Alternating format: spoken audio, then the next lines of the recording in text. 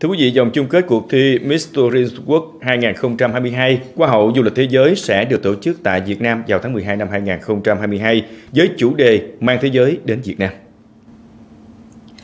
Hoa hậu du lịch thế giới có sự tham gia của hơn 60 đại diện các quốc gia và vùng lãnh thổ. Cuộc thi sẽ diễn ra từ ngày 14 tháng 11 đến ngày 5 tháng 12 năm 2022.